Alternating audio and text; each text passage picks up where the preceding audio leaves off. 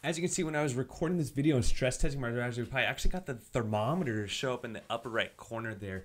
Yeah, that's right. The Raspberry Pi 4 does run hot. In this video, we're going to test four settings. Number one, we have the base test here. No heatsink, no fan. Then we're going to take it to the next level, and we're going to add one of those little cheap heat sinks that you get with a lot of these Raspberry Pi 4 kits. And then we're going to step it up even more to the dual fan kit. You can see it doesn't fit perfectly on the new Raspberry Pi 4, but I did use some thermal paste as well, and then the dual heatsink. And this is a lot more practical, and I, you know, let's see how this does. And then lastly, I recently did a liquid cooled Raspberry Pi 4. And so in this video, I'm going to compare all four. I'm going to stress test all four, and and I'm going to get the peak temperatures for all four. So as you can see here, Raspberry Pi 3, a thermal drawing here, not too much heat, a lot of it focused on the processor. When we got the Raspberry Pi B Plus, wow, look at that. The processor really started to show some heat, but nowhere else on the board really was all there centered. And then now with the Raspberry Pi four. Lot more heat. So in this video, like I said, we're going to take those uh, four different configurations and put them to the test. Starting with number one, we have the base model here. Um, I know I can get this all automated to set up, but I just did it the old-fashioned way. You're gonna, I'm taking peak temperatures. I'm taking multiple temperatures.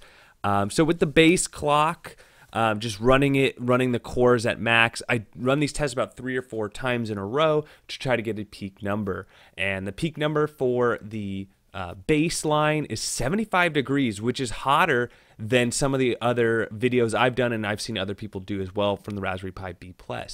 Now what happens when we add a small heatsink, you'll notice it's not as high, it's at 59 degrees, but it's going to heat up as I run these tests. They're going back up to 66 and then it drops again. So as you can see, um, a peak of 66 degrees, 67 there, 66, 67 on a small heat sink. Still super hot.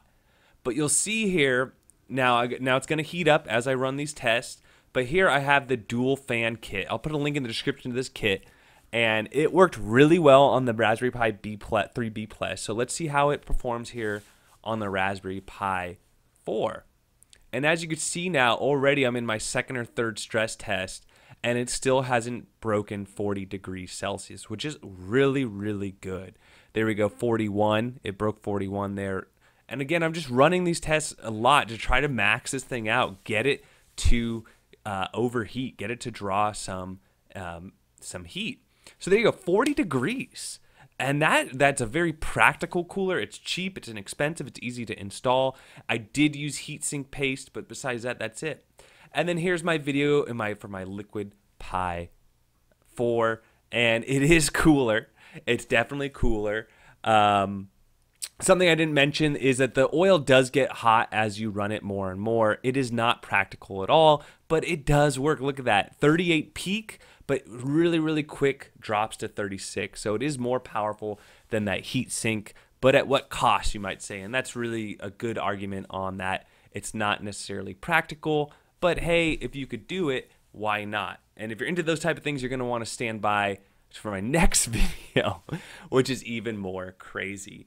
So here you go. Here are the top temperatures. Now, again, I've run these tests four or five times, so when the Pi cools off, I have to get the temps back up again. But I made sure I got those temps back up um, as high as I can.